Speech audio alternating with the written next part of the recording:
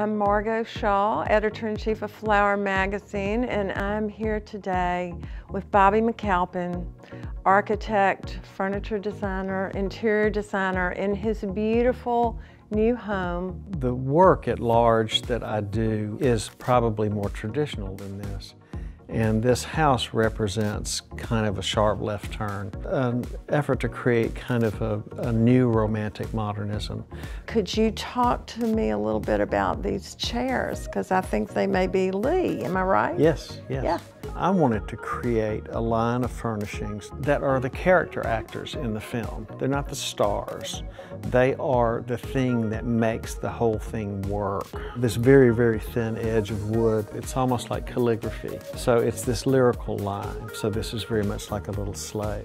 There are several new favorites that are in the line. There's a chair that I saw in a movie called Harold and Maude, and there was a wing chair in one of the scenes, and it was ancient and modern all at the very same time. And now that chair has been introduced into the Lee line. I think it might be a good idea, if you don't mind, for us to sort of meander around this magical place. Sure, I'd love to. This is a little uh, stool that uh, Lee makes for me called the altar boy stool. Uh, it's based on one that I found a long time ago, uh, where altar boys would put their feet on here and sit right here. So clever. What I love about this thing is you can just move it around.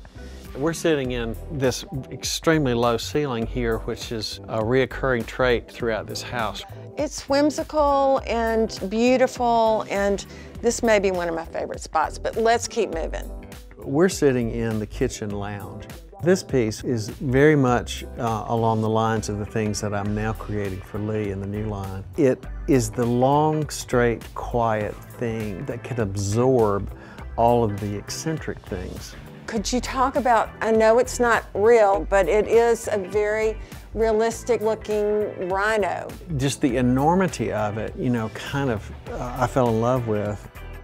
Well, this is the courtyard, and it's the only really outdoor entertaining space. It's very lively. We know there's a lot of rigor and order to it in plan. The axis of the house has everything to do with the table placement, the bay window, the fireplace behind me. All of those things are so ordered that it can handle this misbehaving bunch of boxwoods.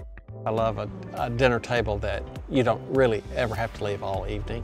You can spend the whole, so be here for hours. And you should always, I don't care whether it's a sofa and a chair inside the house or whether it's out here, I should be able to do this mm -hmm. wherever I'm sitting in that room. Always be that close. That. That's what's nice about a narrower table. Where to next?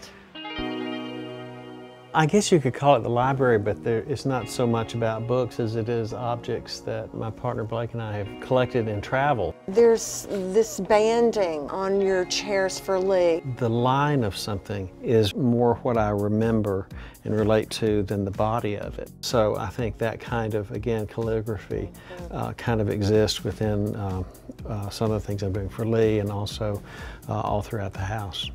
Bobby, thank you so much for sharing your world with us and for describing in such beautiful poetic detail all of your inspirations and also for including your Lee additions to your line.